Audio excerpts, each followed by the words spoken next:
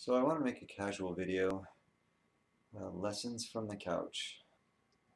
And I gave a lot of thought to what might be helpful, and I watched a video from TechLead recently. So TechLead is a ex-Google software developer, and he's got a great YouTube channel. His content's great. He's very funny. Um, he's got some sad stories too. Check him out. But one of them was um, how he lost $350,000 day trading. And being a trader myself and, and being a day trader, um, obviously I was intrigued. I watched the video and I listened to his discussion and his rant and his ramble. So I just want to explore that a little bit. You hear often that the first thing everyone needs to learn when they're trading or investing or whatever is to cut their losses. And that there's a lot of different ways to do it, though. It's a dollar value, or within a certain time frame. People have a hard time doing that. And that's what led to his losses. But there's one other factor. There's actually two other factors. The stock market, while it looks simple, you open an account, you throw some money in it, um, you look at some charts or you read some news and you make some decisions and you, you know, make a bet. Um, to be profitable, it's a difficult game, and it is a game. People say, oh, it's not a game, it's business, it's serious. It's still a game. There's a, a risk and reward, and there's a bunch of other participants, and you're essentially taking money from each other, trying to keep your costs down. But the first thing that happens with the market is it attracts a lot of really smart people. So you get doctors and dentists and lawyers, engineers, computer scientists, um, all these people that have great educations. Um, maybe they're generally, you know, in the top of the IQ tier or what have you. And they succeeded in life because they've either solved difficult problems, they made it a career, they have a good education, you know, years of school and that kind of thing. So generally, deep down inside, they believe themselves to be really smart. So they see the stock market as just this problem they should be able to solve. But trading in the markets, a better analogy is, I mean, it's a career. You have to learn about it. There's um, potentially years of training. There's so many different facets. Tape reading, uh, watching charts, having the experience under pressure with real money at risk and trading, and obviously psychology and worrying about your emotions.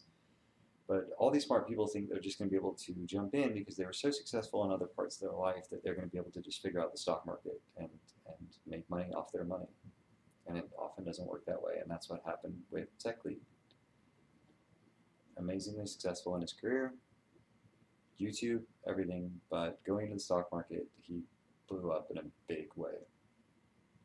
So, no, he didn't cut his losses. If you watch his video, he uh, put on a bunch, bunch of different positions in a bunch of different commodities, and he rode a downtrend that didn't give him a break. It never reversed. He couldn't recoup his losses. So that's a lesson too. It's not only don't cut your losses, but realize there are trends. And trends uh, can go on for a very long time. There's an old phrase that says something like, uh, the market can stay irrational longer than you can stay solvent. So the market does go into periods of trends, and if you're on the wrong side of that and you don't get out, it will not come back and get you to break even. It happens all the time. You, it doesn't matter if it's futures or stocks or bonds or currencies or gold it doesn't matter. They trend. Um, if you follow some of the, the trend followers in the 80s, the turtle traders, they made a lot of money from those trends. And they did what's really hard to do is they took a lot of small losses until they caught a trend, and then they um, added to their position as the trend continued to grow, and they rode it for a super long term and made amazing gains. So don't think that you can jump into the market without an education in the markets and some experience just because you succeeded in other fields. Always remember to cut your losses and realize that the market can trend for a very long time. With that, the thing that you have to tell yourself going into anything in the market, there's always risk. Whether it's real estate or the stock market, there is always risk. You don't make money from nothing. You make money by participating and um, your capital is at risk. Your equity in that in real estate is at risk. So with that, treat your investment like a business and realize that every decision that you make, you are never always going to be right. You don't know which, we'll say bets, I try not to use that word, but which, which choices, which investments, you never know upon entrance which ones are going to be successful and not. You can have a track record, um, like me, with scalping and day trading and that kind of thing, and say, oh, I, I know X percentage of my trades generally are profitable, X percentages are not. Um, but you still don't know. Every individual trade has this amount of variance to it, and you have to execute no matter what. Treat it like a business. The lesson is you enter into an investment or put yourself at risk, and you you say to yourself, okay, I know that not every trade I make is going to be a winner or profitable.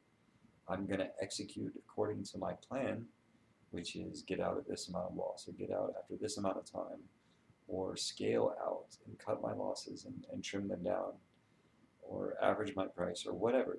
But just to sit there and ride a downtrend for months, like give a $80,000 car to a child to just go drive on the highway. And that's kind of what happens when you take a bunch of money and you go in the stock market, one of the most competitive arenas. So you have to practice, you have to train, you have to learn the rules, you have to understand the risk for real.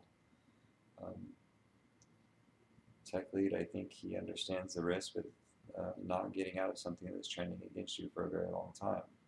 And everyone else should take that lesson too. Super smart guy very successful in every facet of his life. Thought he was going to jump in there, and he had a bunch of money, and he got demolished. So don't let it happen to you.